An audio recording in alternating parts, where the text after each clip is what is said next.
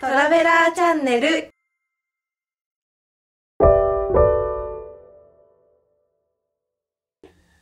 こんにちは。JST のパッケージツアー担当トビカです。今日は台湾の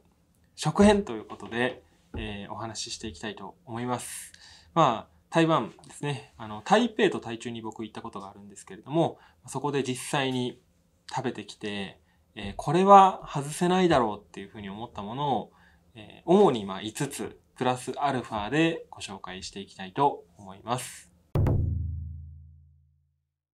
えー、まあ割と王道にはなるので、まあ、これは初めて台湾行かれる方が参考にしていただくと一番いいんじゃないかなというふうに思います。ということで、まずはかき氷。マンゴーかき氷ですね。まあ、王道ですよね。台湾のかき氷って皆さん日本では多分かき氷食べたことあると思うんですよ。で日本のかき氷は氷を削ってその上からシロップを垂らすスタイルなので基本的に氷ってまあ水ですから味がないじゃないですか。ただ台湾のかき氷は味付きの氷まああれは何だろうなシロップとかを凍らせたものを削ってんのかな。なんかもう氷に味付いてるんですよ。甘い。でその上からまあマンゴーとかいちごとか果肉たっぷりのソースをバーッとかけるのでもう氷からシロップから全て美味しいみたいな、まあ、そういうのが台湾のかき氷の特徴ですね。なんで割と量もすごく多いので食べ応えは抜群にあります。一人で食べるのは、まあ、女性一人はちょっと厳しいぐらいかな。結構食べれる人ないんですけどなんでかき氷だからといって食後のデザートになんていう風に思ってると全然食べれなかったりするんでもう割と心して食べに行くといいかなと思います。2つ目はタピオカですね、まあ、連続でご飯じゃないんかいって感じなんですけど、まあ、タピオカです。まあ、タピオカジュース日本でも、まあ、ちょっと前に流行ってまして、えーまあ、今でも結構日本にどんどん進出してきてますし、まあ、行列できるところは多いんですけれども割と台湾発祥って多いんですよね、まあ、有名なところでいくとチュンスイタン春に水に、えー、銅って書くチュンスイタンだとかタイガーシュガーなんかもですね、まあ、これは関東の方しか東京の方にしかないんですけれども、えー、そういったあのタピオカがあるんですけれども他にもですね日本にはまだ進出してきていないタピオカっていうのもありまして例えば白いタピオカのお店があるんですね。そのタピオカって結構ミルクティーに入ってるイメージなんですけどそこはあの炭酸のジュースソーダに入ったりするんで、まあ、こうちょっと爽やかな感じで飲めるんですけど、まあ、そういったえ日本にはまだまだ進出してきてないタピオカもあるので台湾行った時は是非ですね、えー、そういったところも押さえておくといいんじゃないかなというふうに思います。もちろん日本に入ってきているところでもあの現地にさんあるのでいろんなタピオカ飲み比べするといいと思います。僕も結構あのそんなタピオカは日本で飲む方じゃないんですけど行った時は、えー、45点ぐらいいろいろ回って飲み比べしました。それぞれお店で特徴があるので、まあ、あの同じミルクティーといってもお店を変えて飲むとまたちょっと違った発見があるんじゃないかなというふうに思います。え3つ目。3つ目は小籠包ですね。王道中の王道っていう感じですけれども、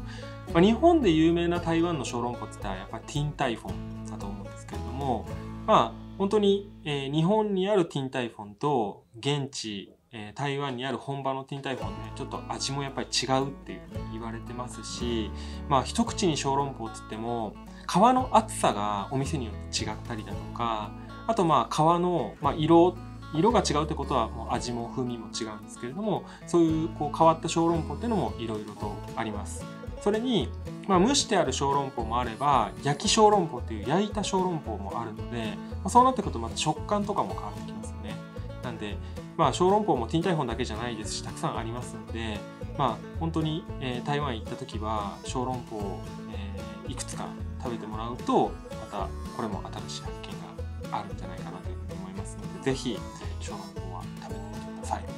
4つ目4つ目は麺線。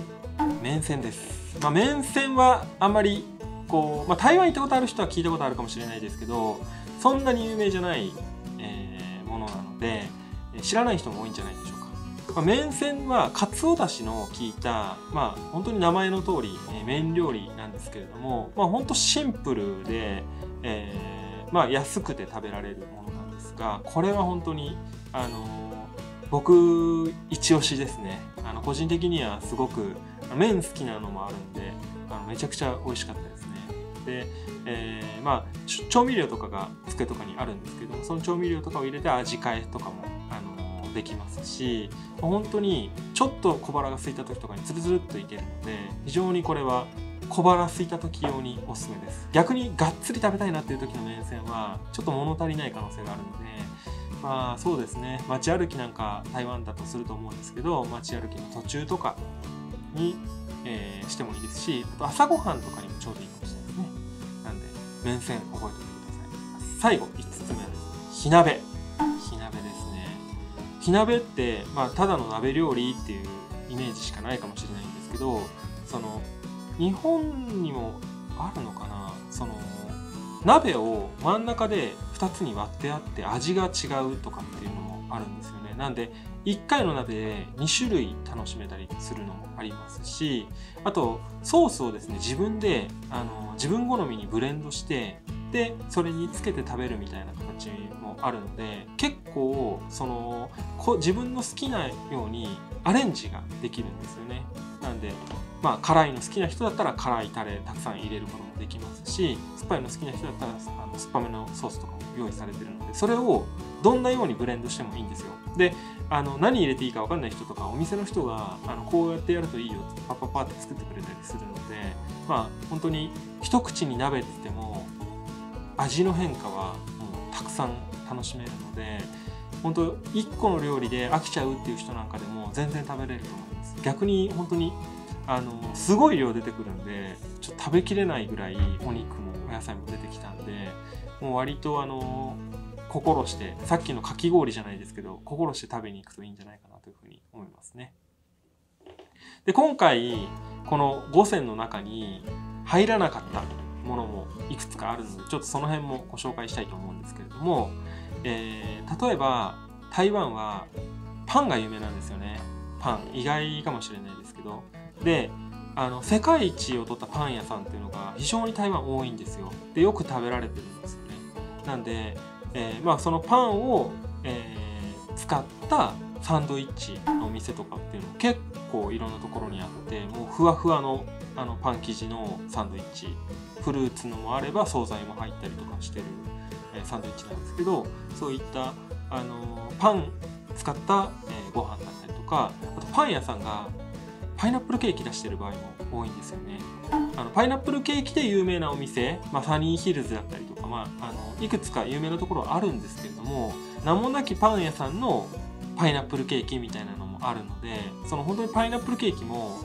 あのお店によって全然違います外の生地のふわふわ感サクサク感だったりとか中のあんのトロトロした感じっていうの本当お店によって全然特色が違うんでいくつか買って食べ比べしてお土産にするといいんじゃないかなというふうに思いますね。本当にあのパイナップルケーキはまあ手頃ですし結構どなたにも受けるのであのお土産には最適なんですけどそれを自分で探してみる。どれ一番あの美味しいのを自分の舌で探して買ってってあげるとより喜ばれるんじゃないかなますあとですね、まあ、番外編として、まあ、これはですね、えーまあ、賛否というか興味がある人はぜひっていう感じですけど臭豆腐ですね。まあ本当にあの言葉だけ聞いたことはあるっていう人も多いと思いますけれどもまあ臭豆腐の臭ってあの臭いっていう字を書くんですよね、ま、豆腐は豆腐ですけど、ま、臭い豆腐。まあ実際にあの臭豆腐出してるお店のそのフロアというかその通路一帯に匂いが充満するのであ臭豆腐のお店近くにあるなっていうふうに思うぐらい結構匂いは割とします。そのいい匂いじゃないというか。まあなんであんなの食べんのっていう感じなんですけど臭豆腐ですね。まあ確かに匂いは制作過程上としても結構きつめの匂いがするんですけれども食べると匂いは気にならなくなって逆に美味しいんですよね。なので食べるまでに勇気がいるんですけどまあもし興味がある人はまあ、ぜひ食べてみるといいんじゃないかなというふうに思います。思わぬ発見があのあったりするんで、まあ、興味がある人はこれはもう別にあの、うん、おすすめまではしないですけど興味があれば食べてみてください。あ意外と美味しいじゃんっていうのが分かると思います。ということで今回は、まあ、僕が行って食べてみた美味しかったもの5選プラスアルファをいくつかお話ししたんですけれども、ま、本当に、まあ、我ながら言うのもなんですけど王道ばっかりですよねなかなか冒険はしていないと、まあ、ただもう本当台湾は美味しいものばっかりですので、まあ、何を食べても外れはほとんどないんですけどまあ本当に自分の舌であの探すのもいいですし、まあ、初めて行くなら今回紹介した王道をまず、えー、食べて、まあ、自分でいろいろ探してみるっていうのもいいんじゃないかなと思います。今回ご紹介したもの以外にもいろいろとありますので、ぜひですね、あのこんなの食べたけど美味しかったよとかっていうのがあれば、コメント欄でお知らせいただくと嬉しいです。はい、ということで今回は台湾の食事で外せないもの5選をやってみました。まあ台湾にすぐ行けるっていうわけではないんですが、まあ、行けるようになった時はぜひこの動画を参考にしてみてください。これが役に立ったよっていう方は、ぜひ高評価とチャンネル登録よろしくお願いします。ではまた次の動画でお会いしましょう。バイバーイ。